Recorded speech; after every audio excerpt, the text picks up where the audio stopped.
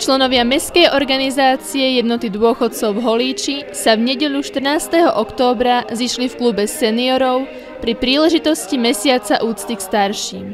S pestrením tohto slávnostného popoludnia boli na začiatku programu umelecké prednesy tematických básní Jána Raka a Ivana Eduarda Hnáta v rámci projektu Knižnica pre všetkých. Blízkosť mami.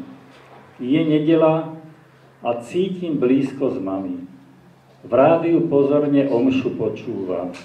Kráčame stále spolu cez úval hlbokých citov, zrazu sme tu sami.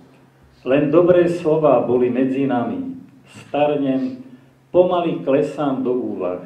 Je nedela a cítim blízko s mami, v rádiu pozorne omšu počúva. Z obavy, že snad riechy popášem, opíšem kruh reč väčší.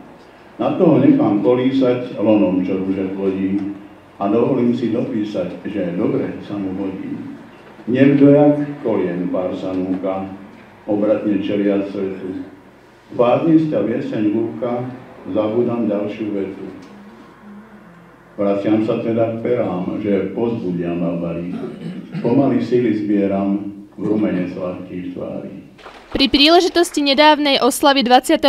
výročia založenia jednoty dôchodcov Slovenska v Holíči sa tohto podujatia zúčastnila aj krajská predsedníčka organizácie Margita Fabiánová, ktorá odovzdala vyznamenanie zakladajúcej členke Viere Kvaltínovej.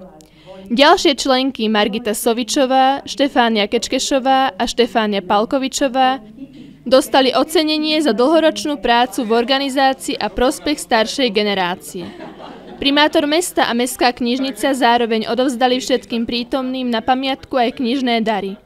Celým programom hudobne sprevádzali záhorácky heligonkári a seniorské spevácké súbory Luna a Echo. Červenú